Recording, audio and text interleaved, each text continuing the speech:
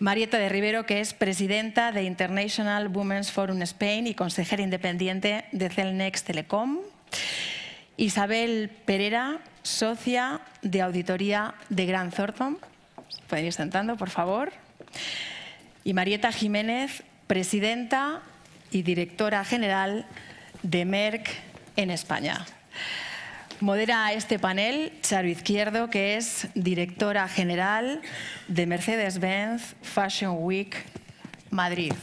En estos momentos están colocando el micrófono para, como digo, moderar esta interesante mesa que lleva por título Lideramos o solo cumplimos? Una pregunta que, como ya les decía anteriormente, había dado respuesta ya al vicepresidente diciendo que lideramos, que cumplimos cuando podemos liderar.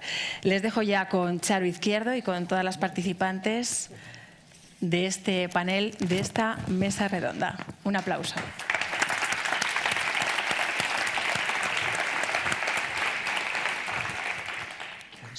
Sí. Bueno, buenos días eh, a todas y a todos. Muchas gracias a, a Forbes por invitarme a moderar esta mesa redonda, mi amiga a mi querida amiga Gloria Lomana y a todas vosotras eh, eh, por, acompañarnos esta, esta mañana. Eh, gracias Alejandro Martínez Borrell por la presentación que has hecho del, informe Women in Business. Y, y, la verdad es que siempre me pregunto qué haríamos quienes estamos interesadas en los temas de género, quienes estudiamos los temas de género, sin los informes de Grant Thornton, porque es como la Biblia, de, la Biblia del género, sobre todo para los eh, periodistas. Em, bueno, además es, es, especialmente interesante que en este mundo en el que cuando se habla de mujeres eh, directivas siempre se piensa o se suele pensar en consejeras, en eh, mujeres en los, en los puestos de, de dirección general, que de alguna manera hayáis incluido no solamente a ellas, sino a todo ese organigrama de las eh, mujeres directivas en, la empresa española, tanto las CEOs como, como las, eh, por ejemplo, las, senior eh, managers. muchísimas gracias. bueno, como ya han presentado a mis compañeras, no, no, voy a hablar mucho más de ellas, solo voy a decir dos cosas, es que son grandes mujeres, y eh, magníficas personas. Y creo que eso en el, en el, ámbito de la sociedad, en el ámbito de la dirección, es, eh, es fundamental. Así que si os parece vamos a conversar. Estoy un poco así, alta, como de puntillas. Eh, vamos a, vamos a, a, a, conversar en torno al informe, en torno a esos datos que acabamos de escuchar. Como han dicho, a nivel mundial las empresas y mujeres al mando se han reducido notablemente del 34 al 25%. En España las empresas con mujeres directivas es el 27%, como han dicho, es un dato congelado con respecto a, datos anteriores, pero es verdad que tampoco podemos desdeñar nuestra posición, puesto que a nivel global el porcentaje de mujeres directivas es del 24%, por lo tanto no estamos tan mal. En el año del Michu, de las feministas saliendo a la calle, del el que se ha denominado el, año de la mujer, cosa injusta porque el año de la mujer son todos.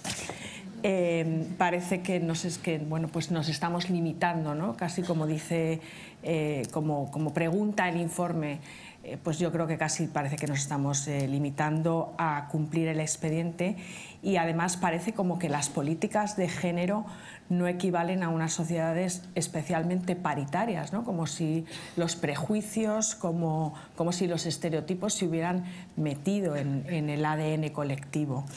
Y, bueno, y encima además hay, bueno, hay, hay, datos que apuntan a una, correlación, a una correlación entre la diversidad de género en la alta dirección y el éxito empresarial. Por lo tanto, sería casi un consejo mm, que los eh, directivos y las directivas se tomaran en serio que son ellos quienes realmente tienen que liderar la diversidad, esa diversidad, ese viaje hacia la diversidad del que habla eh, Grant Thornton. ¿no?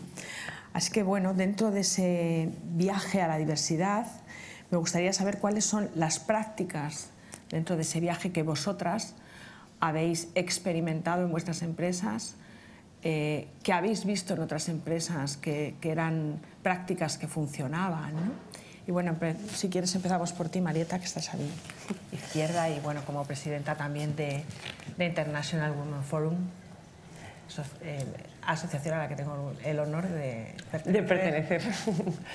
bueno, pues muchas gracias a todos por la oportunidad de estar aquí y poder compartir experiencias y ideas ¿no? para, para, cambiar y mover la aguja ¿no? en esos números que veíamos antes. Eh, bueno, yo tengo un convencimiento eh, y es que para pasar del PowerPoint a la hoja Excel ¿eh? y, que, esos números vayan teniendo la tendencia adecuada, creo que es imprescindible que los CEOs de las compañías tengan entre sus 10 prioridades estratégicas el tema de la diversidad. Creo que solo así eh, se conseguirá mover esos números.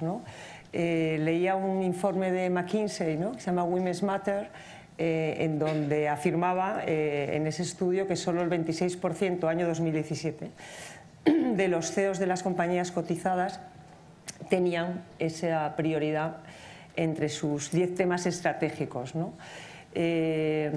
hay un ejemplo, más allá de mi propia experiencia, que, creo que es interesante eh, ver qué compañías están moviendo la aguja. Financial Times hace desde hace dos años un estudio de cuáles son los top CEOs mujeres y hombres, que, se les considera eh, champions eh, en temas de, de, mover esos números. En el caso de los hombres es Paul Polman, el CEO de Unilever, un hombre que ha conseguido que el 40% de su consejo de administración sean mujeres, que ha conseguido que el 50% de los managers, que ahí tenemos el tema de mujer directiva, sean mujeres, un hombre que por convencimiento eh, ha puesto en práctica muchas políticas, de las cuales algunas yo he tenido el placer de disfrutar en otras compañías, como por ejemplo el permiso por paternidad de tres semanas eh, retribuido, un plan especial para las mujeres que trabajan en supply chain dentro de Unilever para que puedan acceder a puestos directivos o eh, imponer targets de diversidad a todos sus directivos. ¿no? Yo creo que esos son eh, ejemplos. Hay una lista donde está también el presidente de Mastercard. ¿eh? Y, creo que, fijándonos en esas personas que están liderando desde lo alto de la compañía eh, para que esos números cambien, es importante. ¿no? On top of, yo lo de obras son amores ¿no? y cómo te mueves a la acción. Desde hace un año soy socia de un headhunter, de Selinger y Conde, y os diré que, me he movido al otro lado de la mesa ¿eh? también para contribuir a mover la aguja. Tengo una base de datos de 600 mujeres ¿eh? para puestos directivos y para consejos y mi propósito es que en cada proyecto eh, tengamos mujeres y no solamente dos de tres, sino tres de tres como potenciales candidatos para acceder a esos puestos directivos. ¿Quieres continuar tú, Isabel? Sí, gracias. Bueno, es un placer estar aquí con todos vosotros y poder compartir ideas y, bueno, contribuir desde nuestra posición para lograr el cambio real en la, en la sociedad. Comparto con Marieta eh, que las compañías están implantando numerosas eh, políticas muy diversas, todas ellas dirigidas a alcanzar la, la, igualdad, la equidad en los órganos de gobierno y en, todas las, en todos los niveles dentro de las organizaciones. Lo que se desprende de nuestro informe y también a través de la propia experiencia personal y profesional es que sin un claro convencimiento por parte de la dirección de las ventajas que lleva acarreada esta igualdad no vamos a conseguir avanzar. Y muchas veces hay que fijarse, como comentaba Alejandro en su exposición, en los resultados económicos. Es decir, estas medidas eh, que están dirigidas a, a lograr la igualdad traen consigo un beneficio económico real para las compañías. Si conseguimos una igualdad, una participación en equidad de hombres y mujeres en la toma de decisiones en las organizaciones, se alcanzarán unos mejores resultados económicos y se dará respuesta a las necesidades que hoy en día plantea la sociedad. Una sociedad cambiante donde la toma de decisiones ha de ser muy ágil y donde los estilos de liderazgo de hombres y mujeres, que son distintos pero claramente complementarios, van a ser la base para la mejor toma de decisiones. Marieta, ¿alguna práctica concreta? Sí, bueno, hoy tenemos dos Marietas, estoy súper orgullosa de estar al lado de Marieta del Rivero, que la admiro desde hace muchos años. A ver, yo, pertenezco a una compañía que se llama Merck, que es una compañía global, ¿no? tenemos presencia en más de 66 países. Em, tenemos la suerte de tener una CEO mujer, de las pocas empresas que a nivel mundial tiene una CEO mujer, que es Belén Garijo. Yo tengo la suerte de incorporarme al equipo español como CEO en España hace un año. Em, en Merck hemos hecho muchísimas cosas. Yo creo que la compañía se ha transformado completamente en los últimos cuatro años en lo que tiene que ver con igualdad de género. Por ponerte ejemplos concretos, em, yo me incorporé a España hace un año eh, y las tres últimas contrataciones para el comité de dirección han sido mujeres, por ejemplo y el 70% de todas las contrataciones eh, durante el último año a nivel de toda la compañía han sido mujeres. Ahora mismo estamos en un 54% de mujeres eh, en España, ¿no? con tres fábricas, que, sabéis ¿no? que las fábricas es, es, un lugar donde habitualmente ha habido muchos más hombres, ¿no? con una planta de biotecnología, por ejemplo, que tenemos aquí en Madrid, eh, ¿no? con esas carreras STEM que también han sido unas carreras un poco más, más para hombres que para mujeres, donde hoy el 54% de los profesionales trabajando en la fábrica son mujeres. Con lo cual hemos hecho muchas cosas concretas. Como decía eh, Marieta, al final es un tema del compromiso de las personas que tenemos ¿no? la gran responsabilidad de estar dirigiendo la empresa. Pero eso es lo que tiene que ver dentro. ¿no? Pero para mí hay otro aspecto muy importante que es qué estamos haciendo las empresas para hacer ¿no? Eh, que esos números cambien, no solamente dentro, sino también fuera, ¿no? cómo contribuimos a que realmente se mueva la aguja. Y, tengo el, honor ¿no? de, presidir, de, presidir, un grupo que se creó hace tres semanas, lo lanzamos, que se llama Closing Gap. Hemos creado un clúster de empresas, empresas importantes del IBEX 35, empresas donde están eh, Mafre, Repsol, eh, BMW, L'Oreal, empresas potentes de este país, con CEOs hombres eh, que están comprometidos con analizar cuáles son las brechas que existen hoy en día en España. No se trata solamente de brechas salariales o de brechas en pensiones, hay muchas brechas, hay brechas en el ocio, en el turismo, en la movilidad, en, cómo nos comunicamos. Analizar cuáles son esas brechas y analizar cuál es el impacto económico, porque la única manera de cambiar la aguja no es solamente porque sea un tema de derechos o de justicia, es porque realmente impacta de una manera brutal en el crecimiento económico de una empresa y, por supuesto, de un país. ¿no? Ese es un poco el objetivo del, proyecto Closing Gap. Dice un dato del informe que 10, 7 eh, de cada 10 empresarios dicen que no tienen ningún problema con la igualdad. ¿no? Eh, y sin embargo, no somos capaces de demostrar cómo esto impacta realmente en los resultados. Si fuéramos capaces de mostrar que realmente la incorporación de las mujeres y del talento femenino a posiciones de responsabilidad impacta positivamente, te aseguro que los resultados del informe cambiarían en breve. Ningún empresario diría que no si demostráramos esa parte económica. ¿no? على Eh, bien, eh, buenos días. Lo primero de todo, agradecer a la organización eh, la iniciativa de poner este foro en marcha, que creo que es absolutamente positivo, y también agradecer la invitación a participar. La verdad es que me siento muy orgullosa de poder mm, estar aquí representando a las mujeres que ocupan puestos directivos y también de luchar un poquito por aquellas mujeres que, están en su camino para, ocupar estos puestos. la verdad es que, bueno, Mastercard, yo me siento muy privilegiada de trabajar en Mastercard. Mastercard es una compañía que mm, habéis hablado de convicción eh, y efectivamente tiene un CEO que durante los últimos nueve años es un firme eh, impulsor y creyente del valor de la diversidad eh, dentro de la empresa, del valor no solamente económico, de resultados, de generación de, de una nueva cultura, de ambiente laboral, Em, que, han dado resultados tangibles. No solamente está reconocido allí Banga, nuestro CEO, como uno está en el top 25 eh, de los CEOs más comprometidos con la, diversidad, sino que la compañía, gracias a las medidas que tiene de diversidad, está reconocida eh, dentro del índice de igualdad de los servicios financieros eh, de Boomerang como una de las mejores y también ha sido reconocida por la Unión Nacional Femenina de Estados Unidos como una de las, de las compañías donde eh, mejor, se, mejor se, trabaja. Eh, ¿A qué se debe esto? Se debe fundamentalmente a que mm, en Mastercard la obsesión por la diversidad eh, le lleva a trasladar mm, en medidas concretas ese respeto a la diversidad y ese impulso a la diversidad con acciones como el programa Whole You, que es un programa global. Este programa está destinado no solamente a equiparar retributivamente a hombres y a mujeres, sino también en cuanto a permisos de paternidad a, las 16 semanas que, se, que gozan las mujeres en España. Permite que los hombres gocen de 8 semanas flexibles, que pueden, mm, de las que pueden disponer durante el primer año, año, de, año de vida de la criatura. Pensad que Mastercard está presente en 220 países, con lo cual una medida de un permiso de paternidad de 8 semanas bueno, pues aquí en nuestro mercado puede sonar eh, como una gran ventaja y algo natural, eh, pero no en todos los países es visto así. Estamos es, una medida eh, que nuestro CEO ha impuesto globalmente y que es muy transformacional dentro de, dentro de la misma compañía. Y por supuesto tenemos políticas de trabajo flexible, de conciliación familiar, etcétera. Por otro lado, también tenemos Mastercard participa activamente en programas globales tipo He4C, somos partícipes también de la United United Nations eh, Women y otros. Y luego también tenemos un programa ah, de impulso precisamente de las tecnologías y de los estudios STEM eh, en, las chicas jóvenes que se llama Girl for Tech y que eh, es una obligación para todos los mercados el impulsar y liderar ese conocimiento de las tecnologías y de mm, un poco las posibilidades que tienen estos estudios para, para las chicas que están trabajando en ello.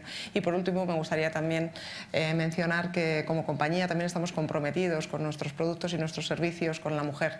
Eh, en el 90% de los casos de los programas que lanza Mastercard de inclusión financiera, eh, estos están dirigidos siempre a una mujer.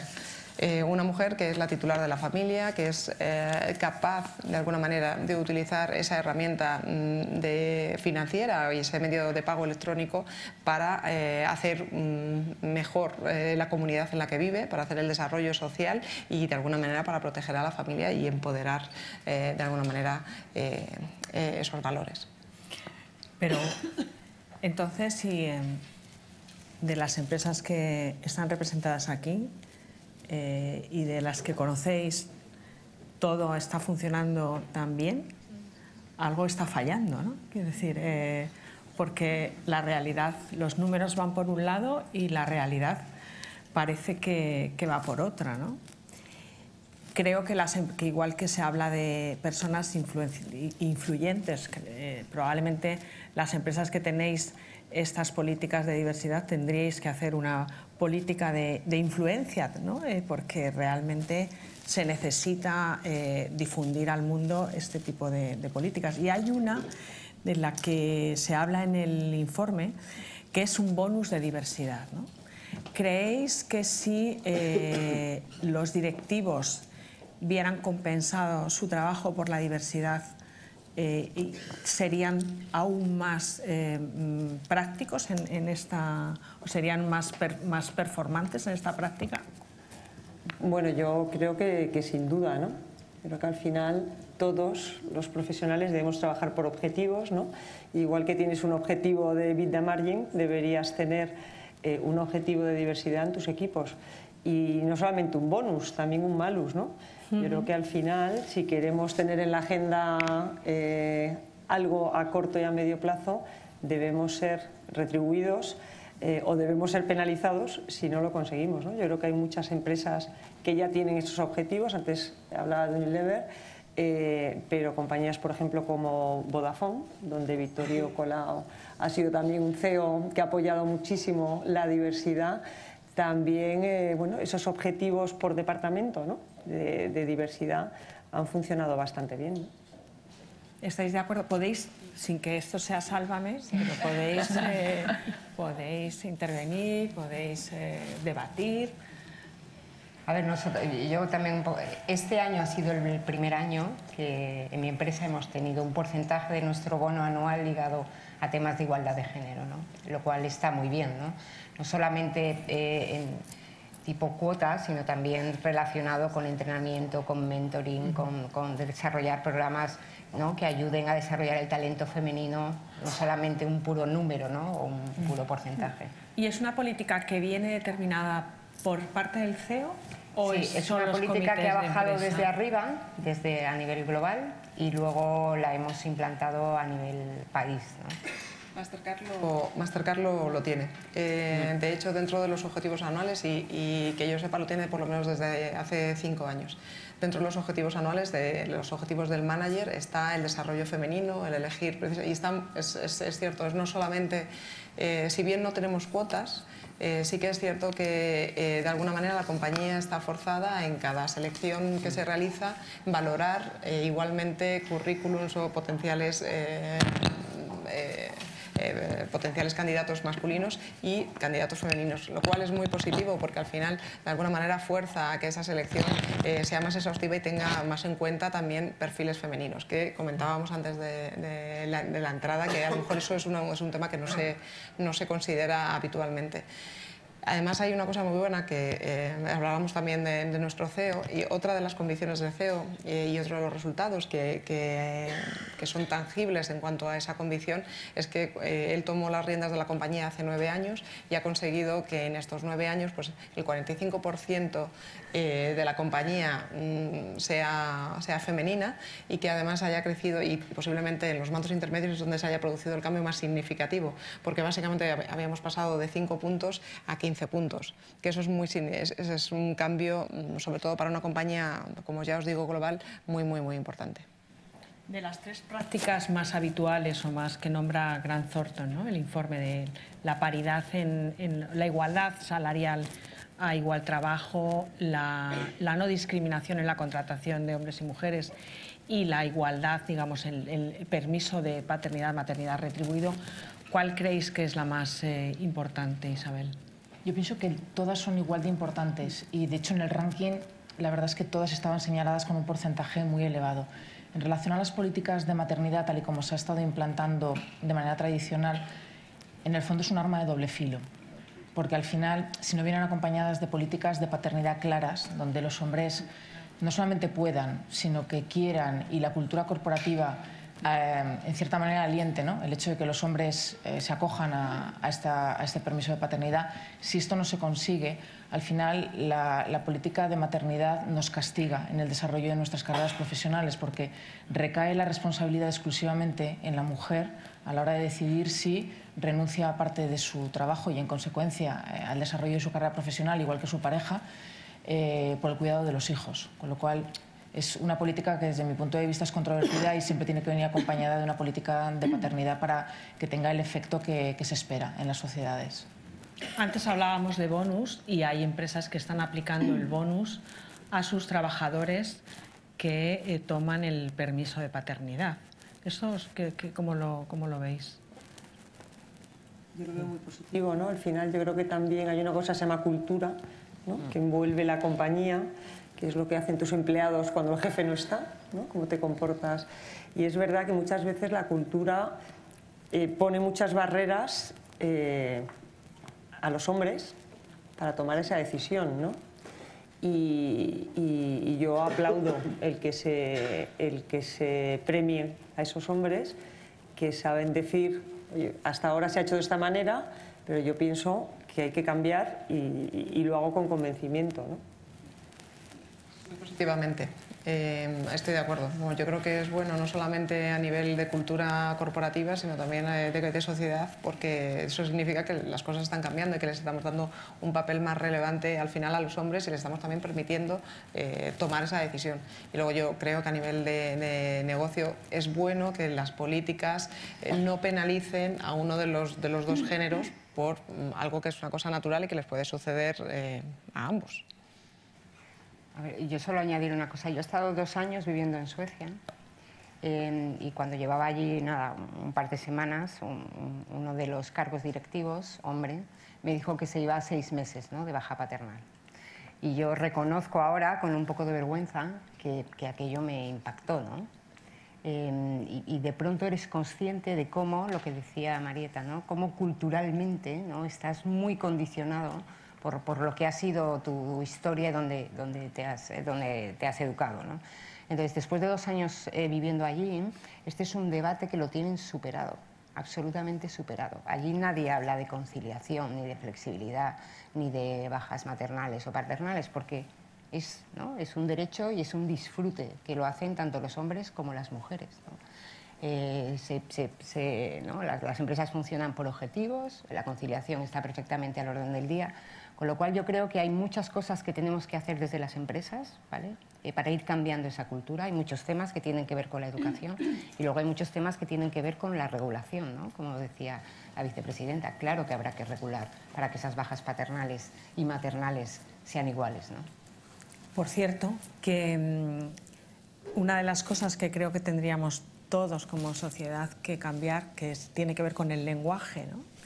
y es hablar de permisos, porque todos tenemos eh, ahí el, eh, siempre, ¿no? cuando hablamos, sobre todo cuando hablamos de la de maternidad, siempre se habla de baja de maternidad, ¿no? y la baja es algo que tenemos eh, asociado a la enfermedad. Al final, el, cambiar un poco el, ¿no? y el hablar, el que hablemos, y además suele, suele ocurrir que se habla de baja de maternidad y de permiso de paternidad. Eh, eh, ahí, bueno, solo, solo es un, apunte ¿no? para, dejar ahí en, nuestras, en nuestras cabezas, porque realmente cuando lo escuchamos eh, o nos escuchamos así. ¿no? Y, entonces has hablado, una de vosotras ha hablado del, del tema de la flexibilidad, de la, y realmente parece como que hay también una una especie de prejuicio por el cual el directivo y por tanto la directiva no puede tener una flexibilidad eh, horaria, eh, no tienen tantas eh, posibilidades de, aplicar la conciliación. ¿no? Esta, bueno, esta frase, esta palabra que ya tampoco, que tampoco es muy moderna, ¿no? pero bueno, esta flexibilidad horaria. ¿Esto es así o es un o es un prejuicio más? Bueno, yo creo que, depende un poco culturalmente país a país, ¿no? Yo en mi etapa, por ejemplo, en Nokia, en donde tuve el placer de conocer eh, y trabajar en una compañía con una cultura nórdica muy evolucionada, año 2004, eh, el teletrabajo estaba absolutamente interiorizado en todos los empleados de la compañía. Nos pagaban la conectividad, eh, todas las herramientas, se promocionaba. Trabajabas por objetivos y, las conversaciones eh, jefe, empleado de dónde estás o qué estás haciendo no existían. ¿no? Era algo natural. sí creo que, en culturas en donde a lo mejor hay más eh, de presencial, que todavía en España yo creo que tenemos muchas compañías donde la presencia es muy importante, eh, esto debe también venir de, de arriba abajo, es decir, tenemos que liderar con el ejemplo. Y si de verdad pensamos que tenemos que dar esa flexibilidad, pues tenemos que empezar por nosotros mismos, por cogernos nuestro portátil y nuestro smartphone y trabajar desde donde sea. Para eso está la tecnología, que es un gran aliado de la flexibilidad y del teletrabajo y, no quedarnos a las 9 de la noche, porque si al final que está arriba se queda hasta las 9 de la noche, pues los que te miran ¿no? y, te siguen, pues se quedan hasta las 9 de la noche, con lo cual el liderar con el ejemplo yo creo que es clave. ¿no? ¿Qué pensáis? Totalmente de acuerdo. ¿Cuándo es la última vez que, habéis dicho, que os han dicho, ¿estás todavía en, en la empresa? Bueno, yo sí, yo, no, yo, en mi caso la verdad es que me, muevo mucho. Nosotros además en España somos oficina comercial, con lo cual mm, pues tenemos que aplicar la filosofía de, que, de poner al cliente en el centro y tenemos que estar con él. O sea, yo además creo mucho, soy también una ferviente creyente de que la, nueva, la tecnología, una de las cosas buenas que nos da es que puedes trabajar desde cualquier punto. Entonces es, y es, fundamental. Yo creo que hay, dos desafíos. Uno es el desafío cultural en España, claramente, y luego hay otro desafío que realmente trabajar por objetivos es más costoso. O sea, requiere más calidad y más responsabilidad del empleado y requiere eh, pues una definición estricta de objetivos, un seguimiento eh, concreto de los objetivos y actuar en función de esos, desde esos términos de, de, trabajo que estableces previamente con el empleado. Y es más costoso, obviamente, que mm, tener a alguien controlado en un sitio estoy totalmente a favor de la flexibilidad, el trabajar por objetivos y más después de dos años en Suecia, ¿no? que yo pensaba si no sabía si tenía equipo o no, porque no veía a las personas, ¿no? salvo cuando era el, Summer Party que nos juntábamos todos y entonces era un momento de celebración. Entonces, totalmente a favor. Y luego también un comentario. Al final, em, o sea, cuando haces algo que te gusta, cuando realmente te dedicas a lo que te gusta, eh, da igual si son tres horas o, veinte. O sea, yo no estoy contando las horas que trabajo, ¿no? Yo hago lo que me gusta durante todo el día y lo he hecho siempre, cuando empecé y ahora que soy CEO. Entonces, al final tiene que ver mucho con eso, ¿no? Con, con si trabajas en un entorno que te haces feliz, ¿no? Uno no tiene que esperar a ser feliz, a que sean las 4 de la tarde, irte a tu casa o las 7 o las 9, ¿no? O sea, que también tiene que ver mucho con el clima y la cultura que generas en la empresa, no solamente con la flexibilidad, ¿no? Con más cosas que, hacen que la gente al final esté disfrutando de lo que hace. Yo además pienso que el relevo generacional que, tenemos lo, lo exige. Es decir, es una generación completamente, bueno, completamente no, pero es distinta a, a los que ya tenemos unos cuantos años más ellos quieren trabajar por objetivos, quieren compaginar su vida personal con su vida profesional y a lo mejor quieren salir del despacho a las 5 de la tarde porque tienen bueno, eh, cosas que hacer y se conectan después en remoto eh, con total libertad. El punto básico es el compromiso. Es decir, si logramos tener equipos comprometidos con los objetivos de nuestras compañías, esto no tiene que suponer ningún tipo de problema, pero requiere un cambio cultural importante y un ejercicio sobre todo para los que no somos tan jóvenes, eh, de, tanto de cambio como de comunicación del cambio, para que todos eh, se sientan cómodos con la nueva situación y tengan claro cuál eh, cómo van a ser evaluados, porque en definitiva, si no hay una clara comunicación en las organizaciones de cuáles son las, las expectativas que se tiene en los equipos, difícilmente vamos a alcanzar este objetivo.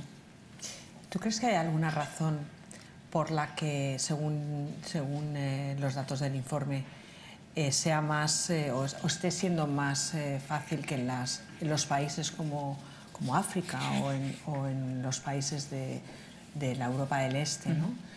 que tengan más mujeres en, en, sus comités de dirección, más que en los países digamos, tradicionales. tradicionales ¿no? Aquí hay dos, dos puntos distintos. En el caso de las nuevas economías es por la pura necesidad de, tener recursos, o sea, de tener personas que estén gestionando las organizaciones. Esto ha favorecido que tanto hombres como mujeres pues, bueno, hayan eh, tenido el acceso a la alta dirección de una manera quizá más ágil y más sencilla que lo que sucede en los eh, países más tradicionales. En el caso de Europa del Este, es también como consecuencia de la herencia comunista, es decir, una sociedad más igualitaria donde desde hace bueno, muchísimos años hombres y mujeres han tenido una igualdad de oportunidades tanto en el acceso a la educación eh, universitaria, incluso en carreras que tradicionalmente eh, en otros países de, Europa han estado más asociados a una figura masculina, es decir, allí carreras pues, físicas, químicas, ingenierías, hombres y mujeres han tenido una igual participación.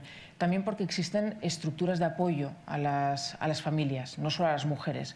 En los centros de trabajo tienen estructuras pues, a modo de guarderías que han favorecido el que las mujeres hayan podido compaginar de una manera muy ordenada eh, su vida familiar y su desarrollo profesional. Cuando miras qué es lo que sucede en los países del G7, en los países de la Unión Europea, en Estados Unidos, es como si hubiéramos caído en una complacencia. ¿no? Parece que hemos hecho los deberes, hemos implantado muchísimas políticas muy diversas eh, y nos hemos convencido de que quizá ya hemos hecho los deberes, hemos hecho suficiente. Y sin embargo los resultados que estamos alcanzando están por detrás de otros países que de una manera más discreta en cuanto a sus políticas pues, están teniendo mucho mejores resultados. ¿Algo que añadir? A ver, yo, tengo un, yo tengo dos, dos, comentarios aquí. ¿no? hay, hay uno que tiene que ver con el lenguaje, eh, a mí me gusta más hablar de igualdad de género que de diversidad, porque en diversidad entran muchas cosas. ¿vale? Y entonces a veces hablamos de, de diversidad y en este momento de estancamiento en el que estamos, en el que eh, todos hemos hecho mucho esfuerzo ¿no? por, conseguir cambiar los números y bueno, hemos visto los resultados del informe, diversidad lleva a otras cosas. ¿no? Entonces yo prefiero hablar de, igualdad de género, que es algo mucho más concreto y se refiere al 50% de la población, no se refiere a una minoría. Eh, esa es una parte que, que, muy importante. Y la otra parte también eh, un poco relacionada con una sociedad ¿no? como, como la nuestra, como es España más tradicional. Em, yo creo que ahora ha llegado un momento donde realmente las mujeres que hemos tenido la, suerte de, llegar a, una posición de responsabilidad, eh, no seamos autocomplacientes, porque yo creo que estamos en un momento de autocomplacencia, de alguna manera, y, hay ¿no? que, levantar la mano y ayudar a otras. Y, hay, algo que tampoco nos ha favorecido mucho ¿no? en esta eh, lucha, porque ha sido una lucha, ¿no? por, llegar a posiciones de responsabilidad, sin querer nos hemos ido segmentando. ¿no? Y hace unos años pues nos decían, las mujeres tenéis que ser masculinas, ¿no? y, y nos poníamos los trajes de chaqueta y íbamos a los, a los comités de dirección. ¿no? Y luego nos dijeron, no, mejor más femeninas. ¿no? Y entonces la inteligencia emocional y la empatía y la colaboración, ¿no? y empezaron un poco a buscar otros. ¿no? Y ahora estamos en un momento que nos dicen a las mujeres que tenemos que ser digitales, ¿no? que si quieres entrar en, un consejo tienes que tener alguna especialidad en digital o en ciberseguridad o algo así. ¿no? Chicas, ¿no? O sea, de verdad, o sea, al final, pues, ¿no? ¿Cuántas veces le hemos pedido a los hombres, ¿no? O tú que estás en un headhunter, ¿no? Que tengan que tener un perfil concreto para tener acceso y el derecho de estar representando lo que debería ser eh, el 50% de, de, de un comité ejecutivo. Entonces, bueno, yo creo que también nosotras tenemos también que ayudarnos y dejar un poco también de segmentarnos, ¿no? Al final tenemos que estar porque por un tema de economía, de impacto, de ayuda a los resultados y, ya está, ¿no? Y no tanto estereotipo de cómo tenemos que aportar. Yo estoy muy de acuerdo. Yo creo que también nosotras tenemos que hacer un ejercicio de autocrítica, ¿no? Al final, el que no es autocrítico no, no evoluciona, ¿no? Y no crece. Y también hacer reflexión, ¿no? sobre cuántas veces tú te has puesto las barreras, cuántas veces eh, bueno, no has sabido levantar la mano ¿no? en el momento adecuado y, tus compañeros hombres sí. ¿no? Y ahí en esa reflexión es verdad que, que nosotras también tenemos que hacer un esfuerzo ¿no? Eh, por, por, cambiar ciertas, ciertas barreras ¿no? que nosotras nos ponemos. Eh, la vicepresidenta del Gobierno ha anunciado que tienen una ley Em, registrada en el Congreso de los Diputados para la equiparación de ley, para, para, la no discriminación laboral. Em, el informe dice una frase corta y contundente y que es ha llegado el momento de las cuotas. Hasta hace relativamente poco había una división muy grande, sobre todo entre las mujeres, eh, de yo no quiero ser cuota, quiero ser cuota, tal. Yo creo que básicamente desde que Ana Botín eh, se reconoció como feminista y, dijo que estaba a favor de las cuotas, a pesar de que hasta hacía poco tiempo no había estado a favor de las cuotas, esa aguja como que se ha movido un poco, ¿no? ¿Estáis a favor de las cuotas? ¿Y cómo? Mm, bueno, yo, yo es que a lo largo de mi carrera profesional, ya pues más de 25 años sin hacer disclosing de mi edad, eh, he ido evolucionando, he ido cambiando mi pensamiento. ¿no? Pues con 37 años era CEO de, Nokia eh, en país y, ah, y, en aquel entonces recuerdo me hicieron una entrevista, no sé para qué medio, y, eh, cuando me preguntaban por el tema de las cuotas, pues lancé un, mensaje de cuotas las de mercado, ¿no? como diciendo, me había costado mucho llegar hasta aquí ¿no? y que ahora eh, el mundo ¿no? Eh, quiera equiparar, pues me parecía, me sentía un poco, me parecía injusto. ¿no? He ido creciendo, he ido mejorando, soy mejor persona, tengo más información, soy más experta y, mi pensamiento ha cambiado, ¿no? porque a medida que he ido creciendo y trabajando en diferentes compañías, he ido percibiendo, he ido identificando las barreras que hay y muchas veces los, frenos y los sesgos inconscientes ¿no? que las propias organizaciones tienen. Para mí la reflexión hoy, eh, en Marieta año 2018, es que las cuotas eh, me parecen eh, condición necesaria pero no suficiente. El otro día leía en el Financial Times eh, sobre Noruega, un país que hace 10 años aprobó tema cuotas consejos de administración, 40% mujeres. Noruega es un país además donde para una mujer eh, tienes todas las eh, condicionantes para que puedas conciliar o que puedas combinar tu vida personal con tu vida profesional, es decir, que, todo eso nos da esa posición eh, más positiva. Sin embargo, cuando miraba las cifras, mujeres CEOs en Noruega, todavía solo son un 7% de las compañías cotizadas. Cuando veía los números de mujeres directivas en compañías noruegas, las cifras mm, están por debajo de un 20%. Con lo cual, eh, bueno, pues mi reflexión es que eh, siendo eh, necesario no es suficiente. Todavía yo creo que la solución viene de hombres y mujeres. La solución no puede venir impuesta por una regulación. La regulación tiene que ayudar, pero no puede venir imponiendo. Y, lo cierto es que medidas, eh, antes comentabas el bonus, ¿no? Eh, por, tener objetivos de diversidad. Yo creo que una medida eh, que en las compañías hubiera bonificaciones fiscales cuando la compañía está cumpliendo con esos objetivos, o penalizaciones, pues probablemente tendría un efecto mucho más interesante y más de mover la aguja ¿no? que simplemente quedarnos en el tema de las cotas. Leía también en este artículo que estaba muy bien que curiosamente Noruega es un país en donde la primera primer ministro es mujer, los tres líderes políticos de los partidos más importantes son mujeres y sin embargo detrás del Parlamento sigue existiendo un club uno de los clubes de hombres más famosos del mundo, no, el nombre es impronunciable, en noruego, con lo cual, eh, en donde todavía no se permite la entrada a las mujeres. Es un sitio donde se reúnen los hombres, donde están los líderes empresariales, los líderes del sector público, los líderes de opinión de un país, eh, eh, y, no nos permiten la entrada. ¿no? Bueno, pues, pues todo esto ¿no? nos debe llamar la atención para que deben existir otras medidas on top of las cuotas para que esto cambie. Yo me declaro en defensora de las cuotas, creo que no son suficientes, pero que es un, creo que es un paso necesario para cambiar lo que está sucediendo en nuestro país. Si miramos mm, países como Francia y Italia, que sí que las han implantado, vemos que por efecto rebote, empresas que no están obligadas porque no son cotizadas, están adoptando estas buenas prácticas y están favoreciendo la incorporación de la mujer. Pero luego también hay un tema que para mí es importante. Cuando hablamos de cuotas parece que solamente estemos hablando de cuotas en consejos de administración y cuotas en, en la alta dirección las cuotas deberían estar garantizadas en, todos, en todo el proceso de selección, de tal manera que a lo largo de, la evolución en los distintos puestos de trabajo estuviera garantizada que hubiera una equidad y presencia de hombres y mujeres con igual de capacitación.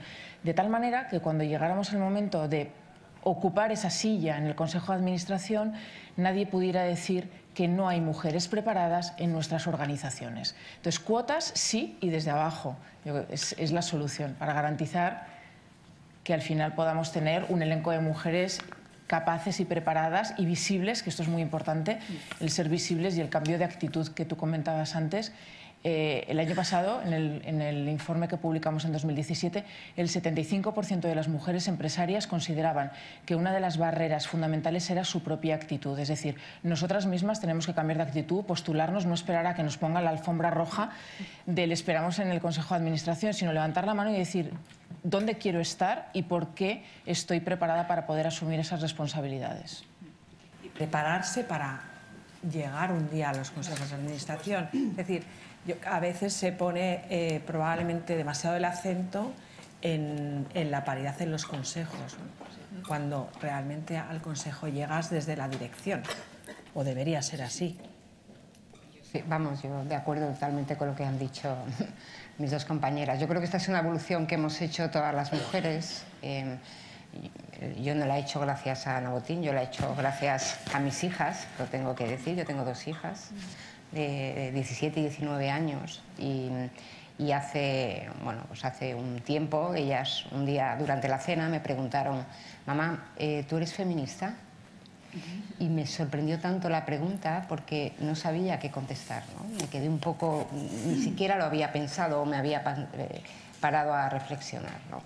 Y, al final, ¿no? cuando ves a nuestras jóvenes, y, en mi caso son mujeres, pero, pero y hombres, eh, te das cuenta que eh, no podemos permitir que pasen otras dos generaciones para conseguir cambiar las cosas. Entonces, em, yo nunca eh, defendí las cuotas, ahora las defiendo rotundamente, sí, defiendo las cuotas. Eh, con muchas más cosas. Las cuotas solas no valen, ¿no? Yo creo que hay que hacer muchas más cosas, ¿no? Y son temas de educación, programas de formación, ¿no? como tú decías, desde abajo. Pero sí, pues me declaro a favor de las cuotas. También, también a favor, exactamente el mismo caso, yo creo. Al final no es tanto si estás a favor o en contra de las cuotas, es si son necesarias o no para conseguir el objetivo que estamos buscando, que al final es acelerar mm, pues, pues, eh, la atención de un derecho de la mujer que, que, no deberíamos estar discutiendo, ¿no? porque al final somos el 50% eh, y debería, nuestra representación debería ser eh, muchísimo más alta. Entonces, totalmente de acuerdo, porque además tiene que ser cuotas además desde abajo, a todos los niveles, y luego yo creo que también a lo que yo doy más importancia es a la parte de la educación. Yo también tengo dos hijas más pequeñas, Em, con ellas comentaba anoche, pues mañana voy a este foro, la sesión, tal, tal, y les llamaba muchísimo la atención porque ellas no entienden eh, esta lucha, no la han vivido. Pero, pero no la han vivido, pero su abuela, por ejemplo, eh, no recibió educación. Eh, le fue vedado el acceso a la educación. O sea, hay que decir que al final es una lucha nueva y, y, tenemos que hacer un doble esfuerzo. Y posiblemente la cuota, solamente el debate de cuotas sí o cuota no, ya es incluso positivo. Una curiosidad de, de periodista, porque yo aunque sea la directora de la pasarela, sigo teniendo mi corazón de periodista. ¿Tus hijas son feministas? Las que te preguntaban. Por supuesto. Vamos, no quepa ninguna duda. Sí, sí. Oye, ¿y creéis que, como se afirma a veces, una sola mujer en el comité de dirección no, no, es, no es suficiente, no sirve? ¿Es necesario tener diversas voces que contribuyan a, a cambiar la empresa desde el comité de dirección? Diversas voces femeninas, claro. ¿Creéis que es necesario? O sea, que con una no vale, que las empresas no pueden quedarse tranquilas. Eso sería como preguntar si el comité de dirección puede estar compuesto por solo una persona, ¿no? al final no solamente una mujer, tiene que estar mm, por mujeres diferentes, con diferentes valores, de diferentes orígenes y con diferentes puntos de vista. O sea, yo creo que es absolutamente... Es, que no debemos discutir si es una, dos, cinco... O sea, tiene que ser mm, algo que dependa de la representatividad que, estamos buscando. Lo que sí es cierto es que, aunque solo haya una, eh, en un momento dado, eh, si hay una mujer en una mesa donde se toman las decisiones, eh, va a haber más mujeres, porque una mujer piensa en otras mujeres. Tiene en la cabeza, aquí tiene que haber más talento, tiene además un círculo de talento. Os pongo un ejemplo, eh, sí que sea 100% decisión mía, obviamente, porque fue una decisión del Consejo de Celnex, eh, donde el CEO y el presidente tuvieron mucho que ver, hombres ambos. Eh, yo hace un año y medio entré en Celnex Telecom como consejera independiente. Celnex era la única compañía del IBEX 35 que no tenía mujeres en su consejo de administración. Y, entonces fue como muy aplaudido, eh, bueno, pues que ya todas las del IBEX tenían una mujer. Eh, un año después, Celnex ya tiene tres mujeres en el Consejo de Administración, ya somos casi un 40%, eh, todas independientes, pero de alguna manera cuando tienes una mujer en la mesa y se plantea un debate de, oye, ¿quién puede ser candidato? Es decir, yo creo que si hay una mujer, eso tira y, apoya el que, el que se abra las oportunidades para todas. Sí, yo estoy de acuerdo. O sea, las cosas siempre empiezan por, por, algo y al final el tener una mujer ahí debería ser un garante de que habrá más ¿no? y que habrá más opiniones. Estabais hablando, no sé quién ha dicho, quién ha, ha dicho la palabra educación, ¿no? que es tan básica para que o sea, al final esto cambia si desde desde arriba se cambian las cosas, pero desde abajo también la sociedad eh, pone, pone el caldo de cultivo para cambiar. ¿no? Vosotras, sobre todo que tenéis hijas pequeñas, ¿creéis que la educación está cambiando a tenor de, los tiempos que vivimos? Yo, eh, o sea, yo creo que la tecnología lo está cambiando todo. ¿no? O sea, yo, yo veo a mis hijas ¿no? y los impactos que tienen, de, o sea, todo este mundo o este gran movimiento de, mujeres ¿no? y, que hay a nivel global ellas están todo el día conectadas ¿no? a, Twitter, a, Internet, con lo cual eso al final, ¿no? ellas están viendo ya desde pequeñas que hay, que hay otro mundo y que, y que es posible. ¿no? También los mismos roles que ven en casa. ¿no? Yo, tuve una madre que estaba en casa, ellas ven una madre que sale, que entra, que trabaja. ¿no? O sea, eso también, ¿no? el, patrón que tienes, el educativo. ¿no? Eh, eso lo va a cambiar todo. ¿no? Para mí la incógnita es... es em, em, y, yo tengo una visión positiva, es si una vez que se incorporen ¿no? al mundo laboral, eh, ahí también habrían, habrán cambiado suficientemente las cosas, ¿no? o al final eh, no lo habremos conseguido. Esa es un poco la incógnita. Yo creo que en la educación estamos haciendo cosas muy bien, la clave es cuando todo este talento ¿no? que está creciendo se incorpora a las empresas, habremos conseguido ¿no? que se mueva lo suficiente para que eso continúe. Ese es un poco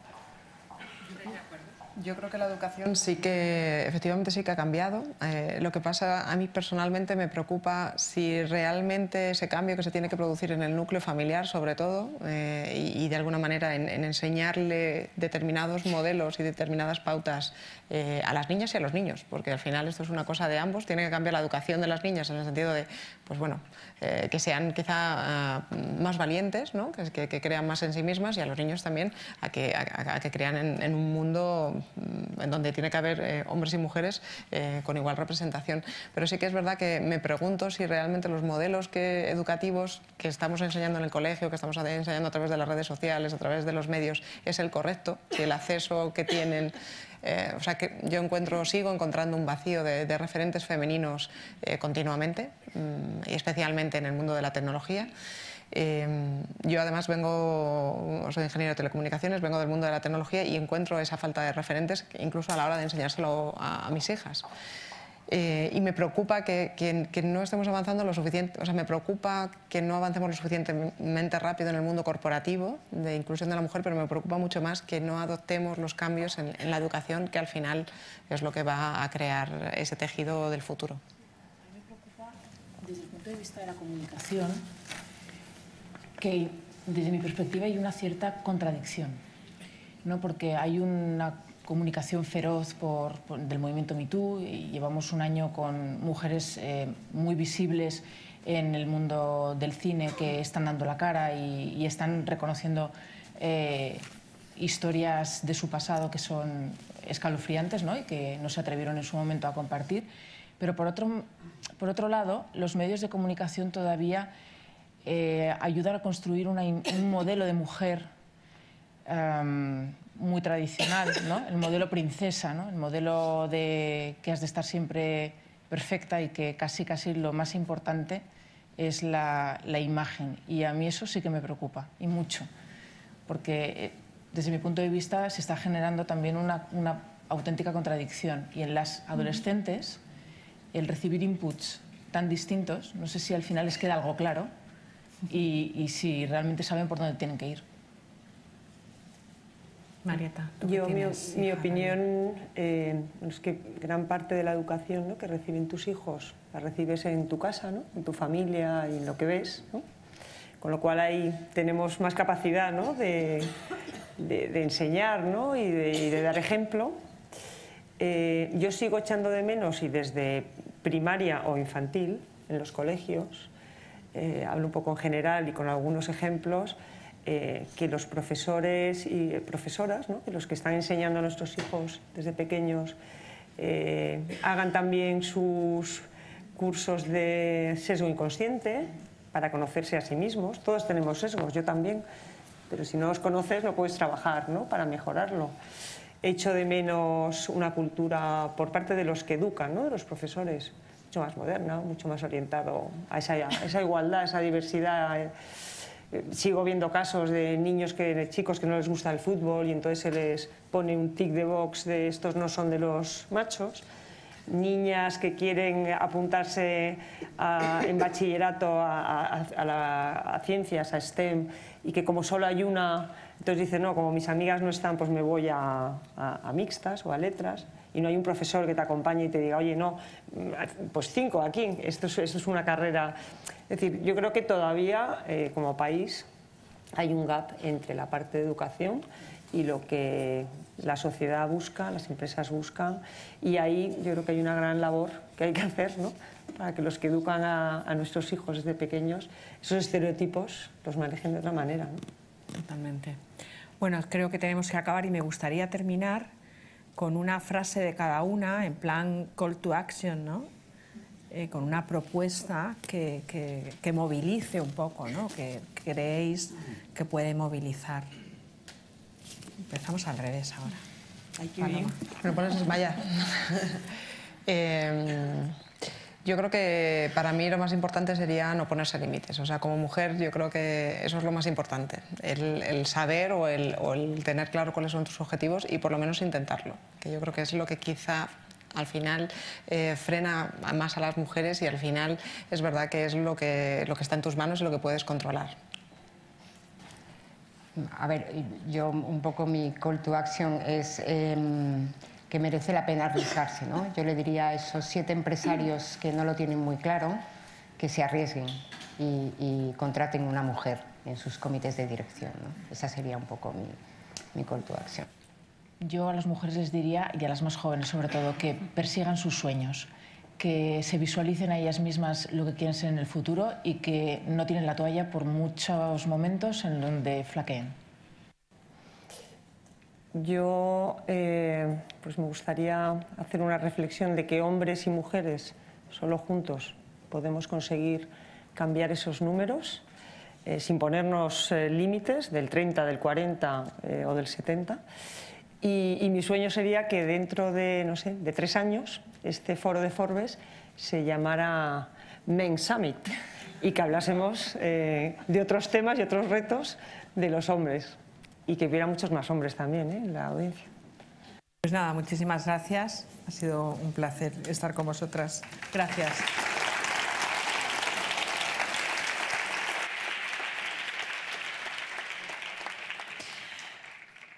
Muchas, muchísimas gracias.